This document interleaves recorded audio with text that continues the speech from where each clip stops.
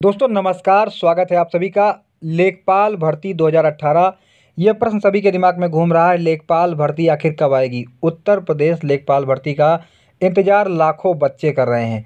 तो इस चीज़ को लेकर आज एक बड़ी अपडेट आई है। आज दैनिक जागरण पेपर आप चेक कर सकते हैं।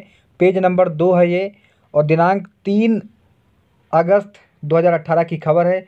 पूरी जानकारी आप दैनिक जागरण पेपर से भी जाकर ले सकते हैं।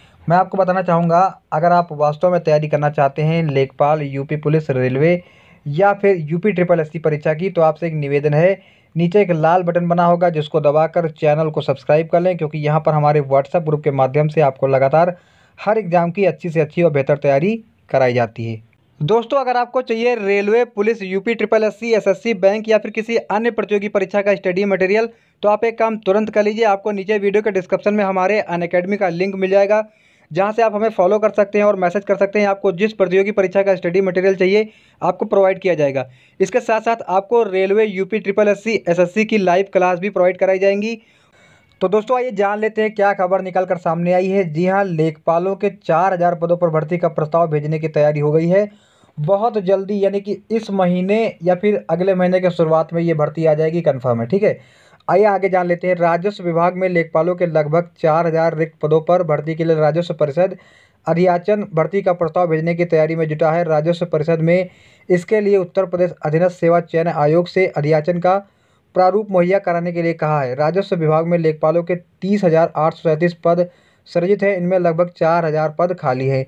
अखिलेश सरकार ने लेखपालों की भर्ती का अधिकार राजस्व परिषद को सौंपा था। योगी सरकार ने लेखपालों की भर्ती का अधिकार उत्तर प्रदेश अधीनस्थ सेवा चयन आयोग को सौंप दिया है। शासन स्तर पर यह निर्णय होने के बाद लेखपाल के रिक्त पदों पर भर्ती के लिए राजस्व परिषद की ओर से अधीनस्थ सेवा चयन आयोग को अध्याचन भेजा जाना है। राजस्व परिषद में अधीनस्थ सेवा चयन आयोग से अध्याचन का प्रारूप मांगा है ताकि उसके आधार पर जिलों से लेखपालों के रिक्त पदों का ब्यौरा मांगा जा सके। लेखपाल की भर्ती मौजूद नियमावली से ही कराई जानी है। गौरतलब है कि बीते दिनों लेखपाल में अपनी आठ सूत्रीय मांगों को लेकर हड़ताल की थी। तो फ़िलहाल एक बड़ी खबर आ रही है कि लेखपालों की जो भर्ती है, उसको लेकर बहुत जल्दी जल्दी प्रक्रियाएँ चल रही हैं और ये भर्ती बहुत जल्द आने की संभावना है। तो आप लोग बिल्कुल तैयार हो जाइए लेखपाल की भर्ती के लिए, पढ़ाई शुरू कर दीजिए।